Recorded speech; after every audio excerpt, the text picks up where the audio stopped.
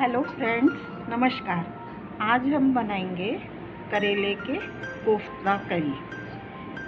ये करेले हैं, इनको हम छीलकर, नमक लगाकर और 10-15 मिनट के लिए रख देंगे। करेले, इस तरह से करेले को छील लेंगे। इसका ज़्यादा छिलका नहीं उतारेंगे। बस ऊपर ऊपर से थोड़ा छिलका इसका उतारेंगे। और इसका जो ये छिलका है, इसे फेंकेंगे नहीं। आपकी मर्ज़ी हो तो डालें, ना मर्ज़ी हो तो ना डालें। हमने फेंका नहीं है। अब हम इसके ऊपर नमक लगाएँगे। इस तरह से इसमें कर ऐसे नमक लगाकर 10 मिनट 15 मिनट के लिए रख दें। कम हो जाएगा और नमक डाल देंगे। और इसको भी ऐसे मिला के रख देंगे। इस तरह इसमें नमक लगाकर 10 मिनट के लिए रख देंगे और इसमें भी नमक डाल दिया है। नमक डाल के इसको भी रख देंगे। इससे कड़वापन ख़त्म हो जाएगा। देखिए, ये हमने नमक लगाकर रखे हुए करेले थे। ये अब हमने अच्छी तरह पानी से धो लिए हैं। अभी इसमें से बीज नहीं निकाले हैं। ये करेले का छिलका हमने नहीं फेंका है। इसे भी धो लिया है अच्छी तरह से और ये करेले भी सारे हमने धो लिए हैं। अब इसमें से हम इस तरह से बीच में चीरा लगाएँगे। और चम्मच की मदद से या जैसे भी आप चाहें, इसके अंदर से ये बीज निकाल देंगे।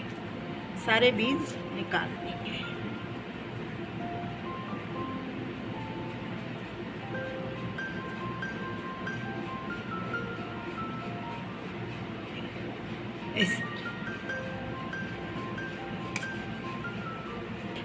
सारे करेलों को ऐसे ही कर लेंगे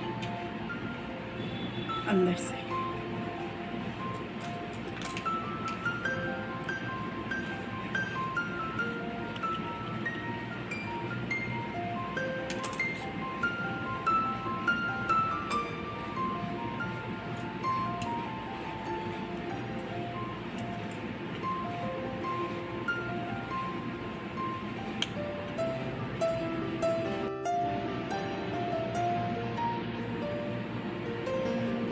तरह से इसका सारा मसाला हमने अंदर का बीज वगैरह करेलों में से निकाल लिया है। अब इसका मसाला बनाएँगे। इसके लिए हमने ये पनीर लिया है। इस पनीर को मैश कर लेंगे।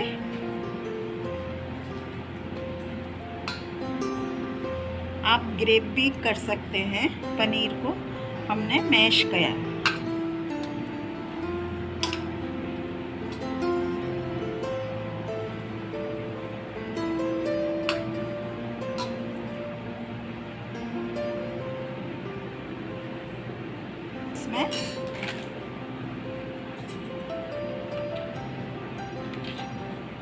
स्वाद अनुसार नमक डालेंगे। नमक कम डालेंगे, क्योंकि पहले हमने नमक लगा के उसमें रखा था तो उससे थोड़ा खारापन रहता है। और प्यूरी में भी डलेगा थोड़ी हल्दी, थोड़ा धनिया,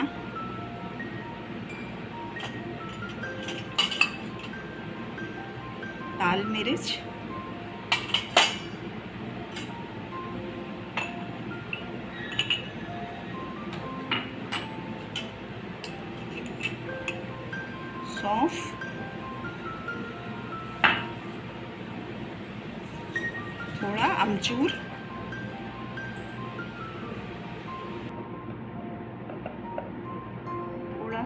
गरम मसाला।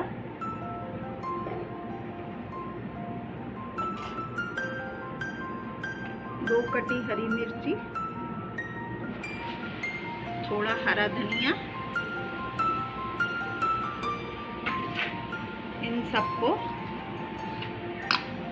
मिला लेंगे।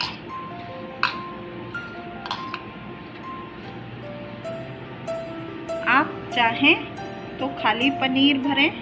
करेले के अंदर और चाहें तो इसमें ये जो करेले में से छिलका निकला है, इसे हमें नमक लगा के धोया हुआ है। इसे भी थोड़ा सा मिला सकते हैं।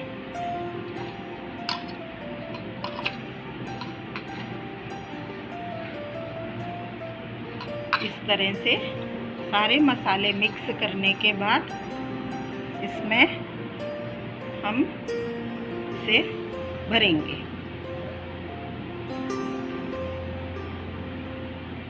सभी करेलों को इसी तरह भर लेंगे।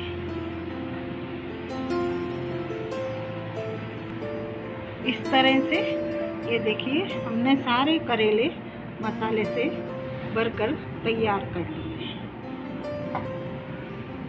अब ये टेबल स्पून तीन चम्मच मैदा है। और तीन चम्मच बेसन लिया है। इसमें हम थोड़ा लाल मिर्ची पाउडर,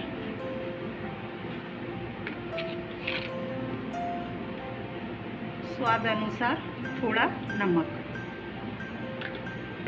मिलाकर इसका घोल बनाएँगे।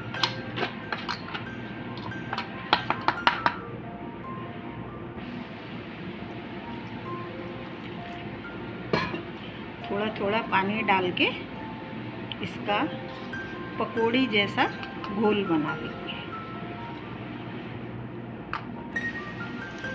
इस तरह से इसका घोल बना लेंगे। इधर हमने अब ये गैस पर तेल गरम हो गया है। इसके अंदर हम इस करेले को लपेट के बोल में डालेंगे।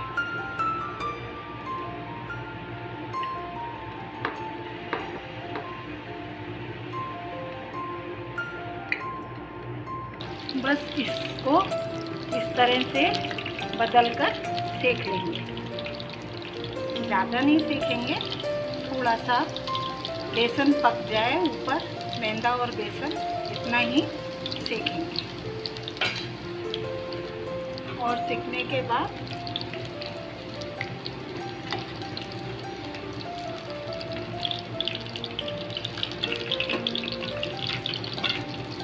निकाल।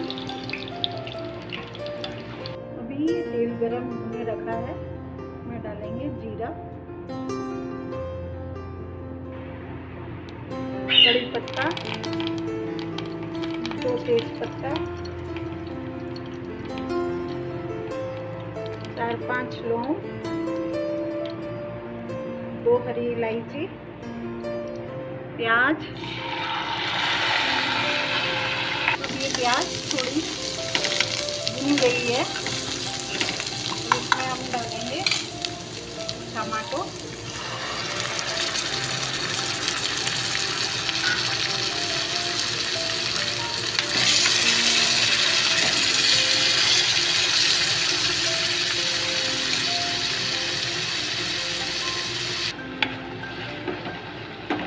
लगभग टमाटर और प्याज सीख चुका है। हमने ये दही है, इसमें हमने हल्दी, मिर्ची, धनिया, सौंफ और गरम मसाला, थोड़ा बाद में गरम मसाला और डालेंगे। ये डाल।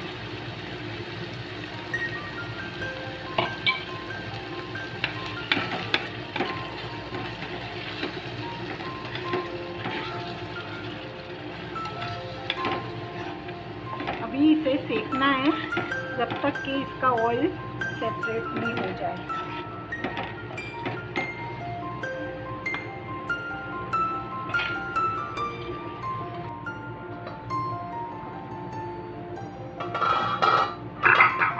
ये देखिए, मसाला और ऑयल अलग हो गया है। मसाले ने तेल छोड़ दिया है।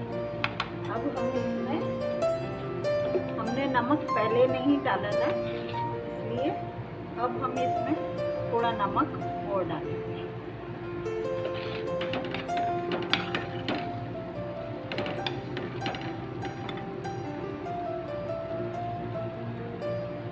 नमक डालने के बाद इसमें थोड़ा पानी करेंगे। ये एक कटोरी के करीब पानी है।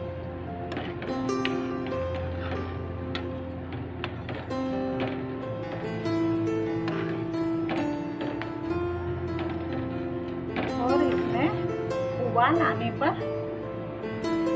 ये जो हमने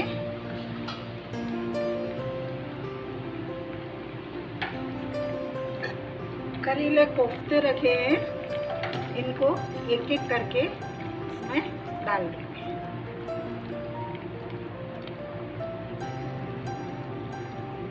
सारे कोफ्ते हमने डाल दिए हैं करेले के, और इसको ऐसे बदल कर 10 से 15 मिनट के लिए इसका रस इनके अंदर जाए।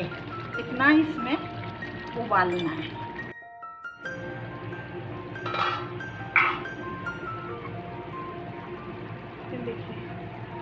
अब इसमें थोड़ा गरम मसाला, थोड़ा हरा धनिया